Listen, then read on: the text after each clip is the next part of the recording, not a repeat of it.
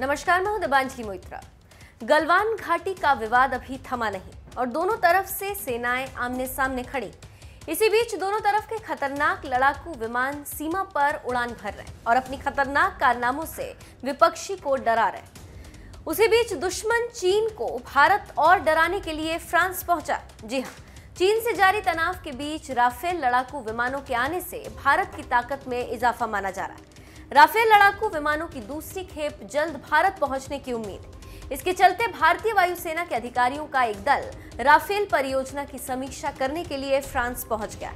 वायुसेना के अधिकारियों ने गुरुवार को ये जानकारी दी।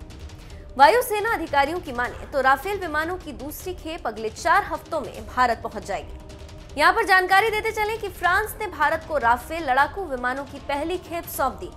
पाँच राफेल विमान उनतीस जुलाई को भारत पहुँच चुके हैं। जिन्हें 10 सितंबर को एक औपचारिक कार्यक्रम के दौरान भारतीय वायुसेना में शामिल किया गया। इन विमानों को पश्चिम बंगाल में स्थित कलईकुंडा एयरफोर्स स्टेशन पर तैनात किया जाएगा, जो चीन से लगती पूर्वी सीमा की रखवाली करेंगे। यहाँ पर जानकारी देते चले कि भारत सरकार ने वायुसेना की ताकत बढ़ाने के लिए चार साल पहले 36 राफेल विमान खरीदने के लिए फ्रांस के साथ उनसठ हज़ार करोड़ रुपए का सौदा किया था। अधिकारियों की माने तो भारतीय वायुसेना की कई टीमों ने जनवरी से अब तक फ्रांस का दौरा किया। भारतीय वायुसेना के राफेल परियोजना प्रबंधन टीम का पेरिस में एक कार्यालय है, जिसका नेतृत्व एक समूह कप्तान रैंक अधिकारी करता है। टीम को उत्पादन समय रेखा के साथ साथ चालक दल के समन्वय प्रशिक्षण का काम सौंपा जाता है।